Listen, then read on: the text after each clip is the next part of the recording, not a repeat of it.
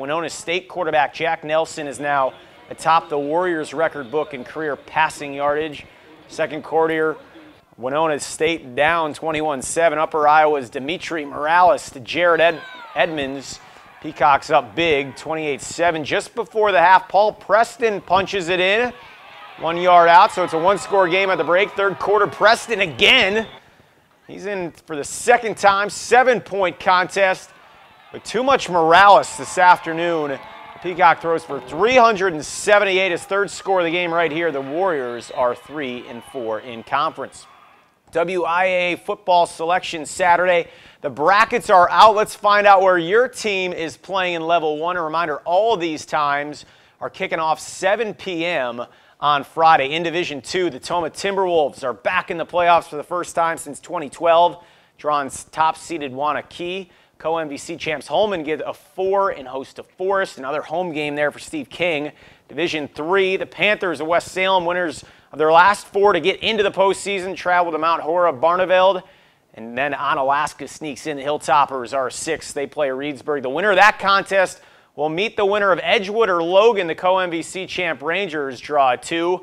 That takes us to Division Four. GET travels Northwestern. Fellow Coulee mates Black River Falls host Tomahawk and Mauston books a trip to number one Berlin. Where does Arcadia fall after an unbeaten regular season? The Raiders are top seed and host Ladysmith.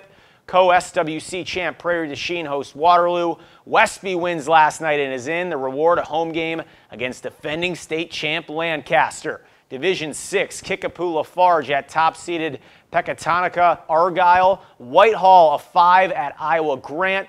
Cochrane Fountain City against Coke Dairyland Chet Melrose Mindoro, and Brookwood pairs with Markesan.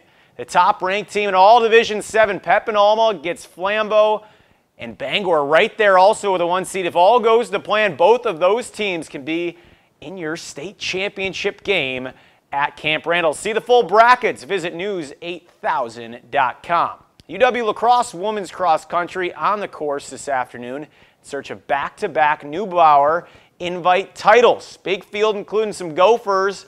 Liam Papini of Central Iowa first across 2108. Cornell College's Abra Masterston second. Top UWL finisher sophomore Caitlin McDaniel sixth at 2203.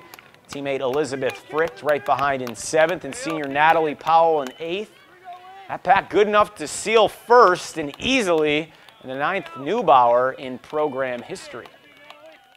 Well, we're all just so pumped for championship season. This was our last race as a full team together, so we're so excited to move forward from here. We're very confident. We're ready to take on championship season and go out there and kill it. On the men's side of things, University of Minnesota's Eric Colvin, the individual champ, 24-42. St. Olaf's Jake Campbell, second. Top UWL finisher, sophomore Austin Zakowicz, He's seventh, 25.06. Also in the top 10, Tom Liner. UWL fourth, a solid tune-up for the championship season. I'm really happy about it. I was out for a little bit of last week because of a sprain in my ankle. Um, I'm just happy to be out with my boys again running, and I'm excited for uh, these championship season start.